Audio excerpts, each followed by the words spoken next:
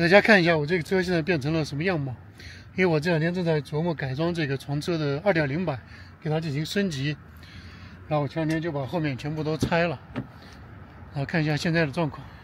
这就是现在这个状况了。现在是，呃，可以看到只有后背被拆掉了，还有这块这个塑料件。但是之前我是把包括这个坐垫以及后面的这些东西全部都给拆掉了。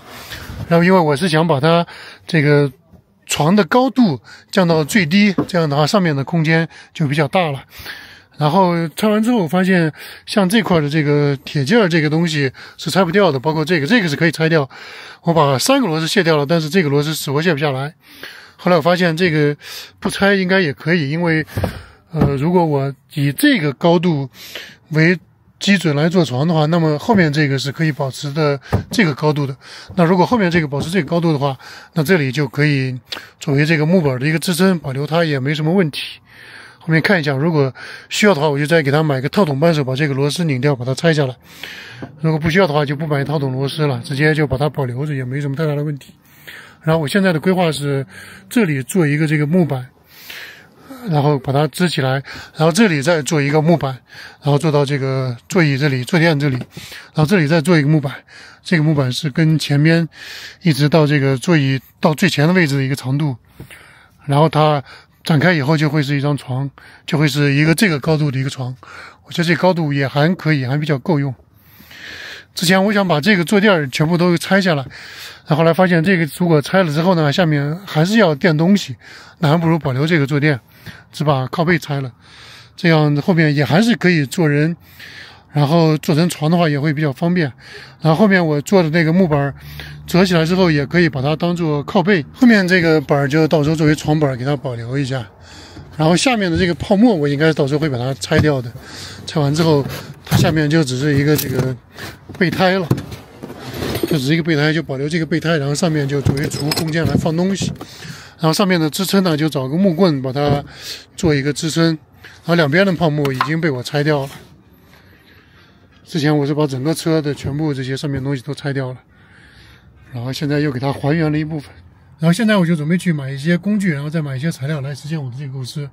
因为我是没有车库，然后也没有院子，然后我们住的地方又是一个二楼，所以搞这些这种改装呢就比较麻烦，所以我就尽量走一些这个简单的思路，尽量操作起来不那么麻烦。先到这个 Hyper Fighter 这里来买一个电锯。他家是比 Home Depot 的工具要便宜一些的。上次那个滑轮就在这里买的。Hi, hi, excuse me. I want to find this reciprocating saw. The reciprocating saw? Yeah. 8015 58015. Oh yeah, okay. Thank you. And that is tool only, so um, if you don't have any batteries for that, you'll need to purchase batteries and chargers as well. Oh, they don't have battery. It does not come with a battery. No, it's tool only. Oh, okay, okay. Thank you. Mm -hmm. The batteries and chargers are just right there. Okay, yeah, thank you. 这个七十刀， 而且还不含电池。超欧里，这个也是七十刀，这个是也是不含电池的，这都是不含电池的。我去，我去看看电池多少钱？电池二十伏的三十刀。好靠，好吧，这是这个带线的这个电锯。这是这个插电的这个电锯，这个是三十刀，但是它这个锯片也要单独购买。然后这锯片是最便宜的是八刀，六寸的。算了，我还是去 Home Depot 看看吧。反正木板也要在 Home Depot 买，Home Depot 东西比较多，或许会有便宜一点的、合适一点的。去 Home Depot 之前，先到 Costco 来完成一下每周的日常采购。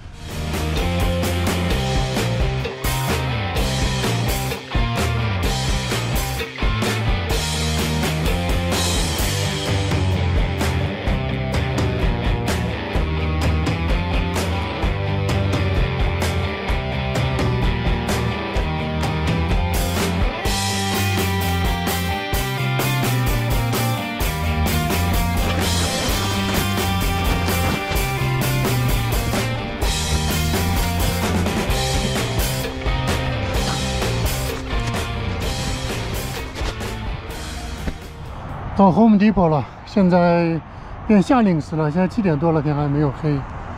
我先去找个电锯，然后再去找合适的木板。Home Depot 的果然更贵，这一百以下的几乎都没有，动不动就好几百，这这这这这这，这让人怎么买？我的妈呀！最便宜的是这个插电的角磨机，但是它也是不带锯木头的锯片的，它里边只有一个这个打磨的。它这边主要都是这种台锯比较多，嗯，像这种电锯最便宜的九十刀，有这个也确实有点大，就没有一个小一点的吗？我去看看有没有手锯吧，这电锯实在是太贵了，没找到手锯，估计是美国人不用手锯这么费力气的低端工具来干活吧。先看看木板吧，这些都有点太厚了，没有必要。就这个的厚度还比较合适，大概是个一厘米多一点。然后这么一块板就要二十五刀，这以前就这么贵吗？还是最近又涨价了？我记得之前来好像没这么贵，后面的便宜一点，后面的就就小很多。最后啥也没有买，灰溜溜的出来了，价格实在是太贵了，真的。我觉得美国的物价可能最近又在疯涨吧。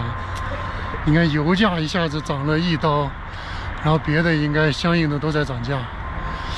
我觉得明天我去 DI 那个二手商场去看看，淘看看有没有什么能够为我所用的。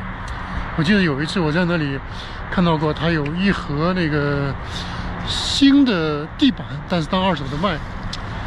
如果还在的话，我觉得我可以买回来使用。但他应该肯定不在了。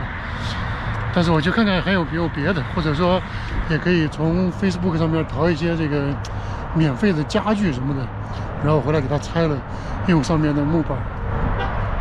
然后电锯的话，我从网上看看有没有合适的。今天也就在 Costco 采购的比较痛快。你看，买了这么半车的东西，才花了一百二十刀，然后在这两个五金店是啥也没有买，都是空手而归，真的是价格太惊人了。哎呀，赶紧回家吧。